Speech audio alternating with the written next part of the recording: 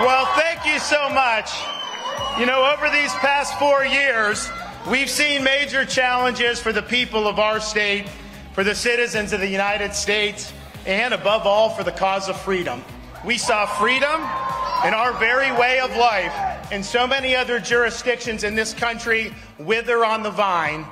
Florida held the line.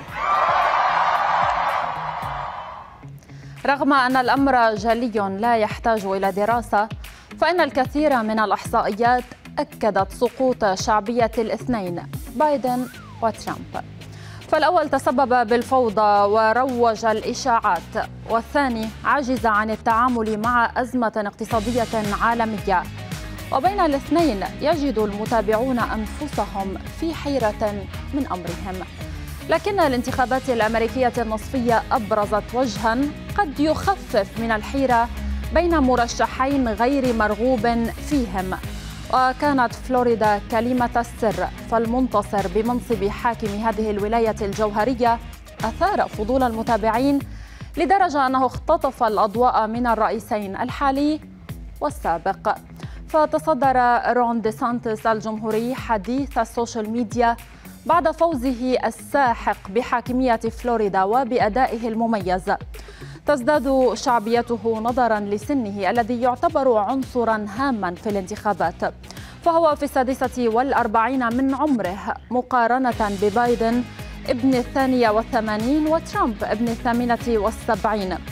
كل ذلك يجعله منافسا قويا في ترشيحات الرئاسة.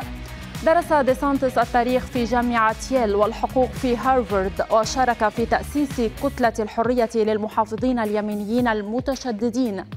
واشتهر بمكافحة كورونا الشرسة في ولاية فلوريدا بينما كان البيت الأبيض متهاونا مع الفيروس. فقام بالأمر بإغلاق عام في الولاية وأقام مئات مراكز الاختبار. ديسانتس ليس منافسا لترامب حسب تقديرات المحللين فقط بل إن ترامب نفسه لا يخفي قلقه من تصاعد شعبية ديسانتس فسبق وان هاجمه في تجمعات انتخابية ووصفه بالمنافس بين دائرة المقربين منه. كما أن كلمة ديسانتس في خطابه الانتصاري في ولاية فلوريدا زادت شكوك المحللين عندما قال جملته الرنانة لقد بدأنا المعركة للتو I am proud of our achievements in this state. I am honored by your support, and I look forward to the road ahead. I have fought the good fight. I have finished the race in this first term, and I have kept the faith, and I have only begun to fight. God bless you all. Thank you very much. Thank you for a historic landslide victory. ديسانتس لم يلفت نظر المتابعين الأمريكيين فقط بل لفت أنظار الكثير من متابعي السوشيال ميديا حول العالم ذلك لانخفاض شعبية ترامب وبايدن بينهم أيضا. وهو ما حفز الكثير من التعليقات بين رواد مواقع التواصل الاجتماعي. سنقرأ لكم بعضا منها ونبدأ من نادية. الانتخابات النصفية كشفت وجوه جديدة بارزة في السياسة الأمريكية مثل رون دي سانتس الذي قيل أنه سيكون خلفا لترامب وكاري لييك التي قيل أنها النسخة الأنثوية من ترامب وحادثة شتم ترامب لنانسي بيلوسي صدمت الإعلام. صالح كان أيضا له تغريدة وكتب فيها غير أنه مرشح قوي وينال إعجاب الأمريكان. ترامب أصلا مسبب صداع للحزب الجمهوري وهم بانتظار أي فرصة لينقلبوا عليه لكي لا يترشح. رحموني أيضا كتب في هذه التغريدة نتائج الانتخابات النصفية هزيمة لترامب لأنه وعد بموجة حمراء وحصل العكس خصوصا في مجلس الشيوخ مما يسهل من مهمة ديسانتس لينافسه سنة 2024 في الانتخابات الرئاسية. سيحاربون ترامب إلى آخر يوم في الانتخابات. أخيرا تغريدة لزينة تقول فيها أعتقد أنه أهم عامل في ديسانتس هو عمره مع أنه أصغر أو صغر السن ممكن يعتبر قلة خبرة ولكن مرور الأمريكان باثنين من كبار السن في آخر ثماني سنوات عطشهم. ناهيكم عن أفكاره اليمينية اللي ستجعل مؤيدين ترامب مؤيدين له أيضاً. معنا من واشنطن لنتحدث أكثر عن هذا الموضوع مدير مركز الشرق للبحوث دكتور سمير التقي. أهلا وسهلا بك دكتور سليم. حاكم ولاية فلوريدا رون دي سانتس لفت الأنظار بعد فوزه باكتساح هل يمكننا القول أن دي سانتس نجح في خطف من كانوا مترددين بشأن تأييد ترامب من عدمه داخل الحزب الجمهوري؟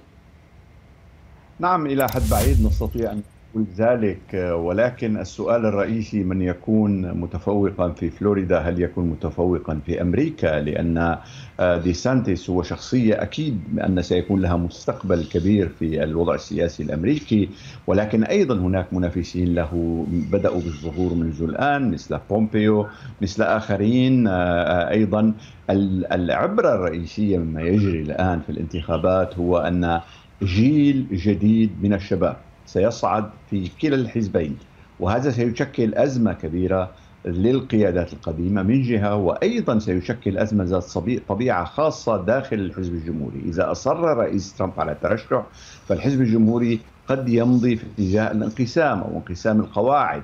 وهل سيستطيع الحزب أن يكرس مرشحا جامعا يعزز آه، مواقعه التي حققها الآن في مجلس النواب هذا تساؤل كبير إذا نحن آه، على عتبة تحول في الحزبين وفي المجتمع الأمريكي باتجاه الشباب المشكلة في موضوع ديسانتيس هو أن مواقفه فيما يتعلق بنفي بقضية كوفيد بالرغم أنه قام بدور كبير في قضية نعم. الفحوص ولكن موقفه من العزل في فلوريدا أيضا يتناقض مع المواقف ذات الشعبية في الولايات الأخرى.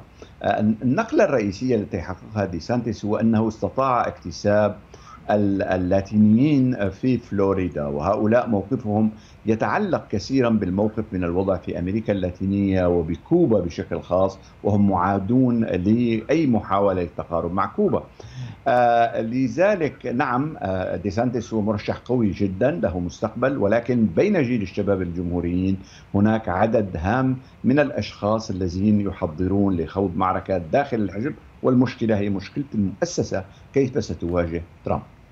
بالنظر لكل ما ذكرته أستاذ سمير ما هي فرص أن يقوم ديسانتس بترشيح نفسه في الانتخابات الرئاسية المقبلة عام 2024 أنا على ثقة تقريبا بأن ديسانتس سوف يرشح نفسه ضمن الانتخابات الأولية داخل الحزب الجمهوري. آه، وهو لا شك أنه سيشكل يعني ربما يشكل نقطة تقاطع تجمع اليمين المتطرف في الحزب الجمهوري مع المعتدلين وخاصة مع جيل الشباب الصاعد في الولايات الساحلية آه، في الطرفي في طرفي المحيط. وبالتالي إذا استطاع أن يعتدل في بعض مواقفه وإن خاصة فيما يتعلق بالإجهاض، فيما يتعلق بكورونا، فيما يتعلق بالعديد من القضايا، يستطيع عمليا أن يطور نفسه كشخص يوحد الحزب الجمهوري بعيدا عن ترامب وفي إطار تشكيل جيل شباب جديد. نعم. آه، الرئيس الأمريكي السابق دونالد ترامب حذر حاكم فلوريدا من الترشح للانتخابات الرئاسية المقبلة معللا ذلك بأنه سيؤثر على الحزب الجمهوري. هل فعلا سيؤثر ترشح ديسانتس على الحزب الجمهوري أم أن ترامب لا يريد منافسا له بالسباق الرئاسي المقبل؟ يعني عمليا الرئيس ترامب هو الذي يشكل تهديد الآن. أصبح نلاحظ أن عدد كبير من زعماء الحزب الجمهوري الآن يبتعدون عن ترامب ويحملونه مسؤولية الخسارات الفادحة في بعض المناطق وعدم تشكل ما يسمى بالموجة الحمراء. وبالتالي نعم آه آه هذا أمر متوقع من الرئيس ترامب والأمر سيتطلب الكثير من العمل السياسي داخل الحزب الجمهوري من أجل إقناع قاعدة ترامب بأن لا تنشق ولا تتخذ موقفا سلبيا من آه مرشح الحزب المقبل ديسانتيس نعم. أحد المرشحين الرئيسيين ولكنه لن يكون الوحيد الآن طيب أيضا ترامب هدد ديسانتس بأنه سيؤذيه بكشف معلومات سرية عنه وعن زوجته. إلى أي مدى يؤثر هذا الأمر في الحزب الجمهوري؟ وهل برأيك سيسمح يعني لترامب بالاستمرار بهذه الطريقة الهجومية التي ستؤثر على سمعة الحزب بشكل عام؟ آه عمليا ترامب هو شخص عنيد وثبت بأنه مثابر ولا يتراجع عما يقول من الناحية العملية فيما يتعلق بقضيته الشخصية. ولكن أعتقد بأن السمعة الشخصية للرئيس الأمريكي لم تعد رئيسية في العقل الأمريكي الآن كما يتضح من مجرد ترامب بالذات يعني يتعرض لأكثر من 13 دعوة موجودة على الطاولة في المحاكم الأمريكية ومع ذلك لا تزال لديه نسبة من الشعبية. آه، إلا إذا كان لديه مستمسكات وبعض القضايا الخطرة ولكن يمكن أن يضره آه، فيما يتعلق بما يسمى الحزام الإنجيلي المتدينين المسيحيين يمكن ومن الواضح بأن هناك لدى ترامب معلومات حول هذه بعض القضايا التي ربما ديسانتيس لا يتفق فيها معهم في سلوكه العملي وسلوك عائلته. شكرا لك كنت معنا من واشنطن مدير مركز الشرق للبحوث دكتور سمير التقيه.